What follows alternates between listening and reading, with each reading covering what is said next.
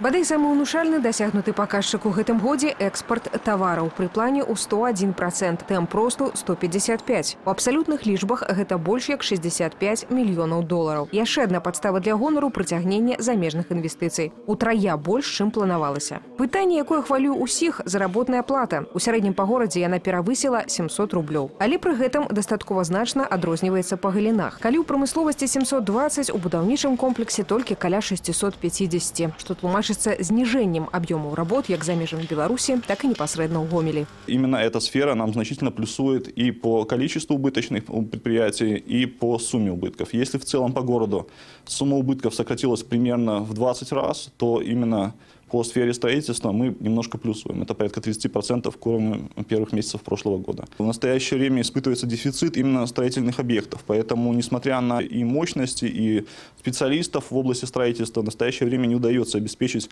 э, выход на уровень хотя бы прошлого года. У гомельскім гарвыканкаме перакананы, нават нягледзячы на дастаткова высокія паказчыкі, вынікі могуць быць яшчэ больш значнымі. На шэрагу прадпрыемстваў існуючыя магутнасці выкарыстоўваюцца не ў поўным аб'ёме. На іншых пры высокай якасці прадукцыі не атрымліваецца арганізаваць яе пастаўкі на экспорт. Яшчэ адна сфера павышанай увагі працаўладкавання. Зараз узровень беспрацоўя ў гомелі складае 1 процент. З пачатку года каля 500 беспрацоўных накіравана на перанавучанне. На пастаянную работу уладкавана амаль 3 тысячи гамельчан гомельчан. Яшчэ 2200 занятыя часова. Сейчас люди работают ну, конкретно у больницы, например, у госпитале, у Костюковки больницы, значит, в Центре социального обслуживания населения Советского района. В ближайшее время, вот сразу после э, Дня Победы, будут работать в нескольких, в четырех школах.